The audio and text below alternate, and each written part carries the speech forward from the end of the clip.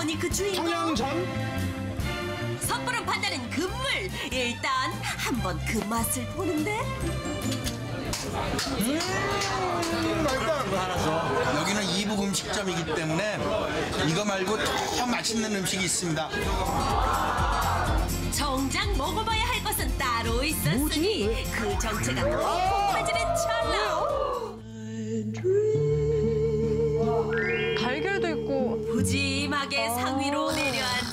오색 빛깔 자태로 애정하는 어묵쟁반. 녹네 누가 샤브샤브 연상시키는 비주얼답게 육수 국물에 차작하게 적셔 먹어야 제맛이라는데. 제가 진짜 제 자신을 칭찬하는 날 낯선 제가 먹어요. 어복쟁반. 푸짐함에 한 번 담백함에 두 번 감동할지니 어복쟁반 만나게 되어서 반갑구나. 그렇다면 묻지도 따지지도 말고 일단 한번 드셔보시다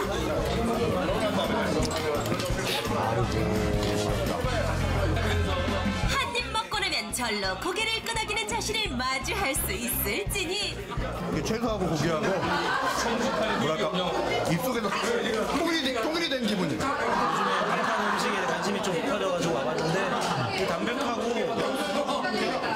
맛있는 것 같아요. 지금 맛있도 진하고 자주 와보고 싶네요.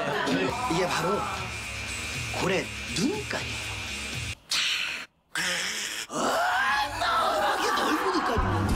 어마어마한 어복쟁반을 선보이는 사장님을 만나보자 평양 그 평안남도 출신인데 어쨌든 간에 이제 전쟁이 나면서부터 145때 때 부모님 따라서 어, 그냥 나오게 됐어요. 고향 음식을 잊지 않고 어, 노상을 해 먹고 추억을 이제 생각하면서. 이런 분들이 계시기에 우리가 먹을 수 있는 거예요.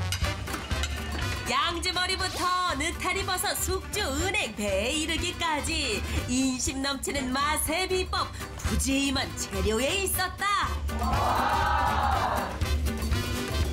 뭐니 뭐니 해도 전골은 육수 맛이 좌우하는 법. 깔끔 담백한 국물 맛을 위해 양지머리를 3시간 동안 푹 삶아낸다는데 평양시장 상인 여럿이 모여 고기와 채소를 끓여 먹던 곳에서 요리했다는 예쁘다. 정이 있는 음식 어복쟁반. 푸짐하게 예쁘다. 담긴 쟁반을 바라보니 단체 관람객도 문제없을지어다. 이건 진짜 이런 거 가득 먹으면 육수에 채소를 담가 숨을 죽여야 입속으로 직행할 준비 완료. 내가 막 왕이 된 것 같잖아. 야들야들 소고기와 채소의 불같은 만남. 이보다 더한 멜로가 어디 있으랴? 이건 많이 먹으면 살도 안. 이야, 아우. 입속에서 고기와 채소의 통일을 이끈 푸짐한 맛의 어복쟁반 꼭 저렇게 삼합처럼 같이 먹어야 돼. 가족들과 친구들과 함께 먹을 수 있어 이제는 더욱 특별한 음식이 된 어복쟁반 쟁반 가득 담긴 넉 인심이 여기까지 전해진다 저 먹으러 한번 가야겠네. 좀 작고 담백하니. 아 진짜로 제가 한 번은 통일이 된다면 거기 가서 먹어보고 어, 싶네요. 그럼요. 제일 먼저. 맛이 다를 것 같아요. 너무 궁금하게 지금도 맛있는데 얼마나 맛있을지 궁금합니다. 어복쟁반의 솔직한 맛 평가를 들어보자.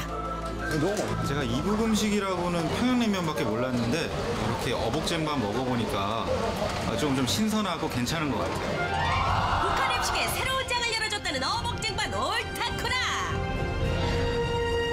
가깝지만 멀게 느껴졌던 북한 음식 영화 공동 음식 구역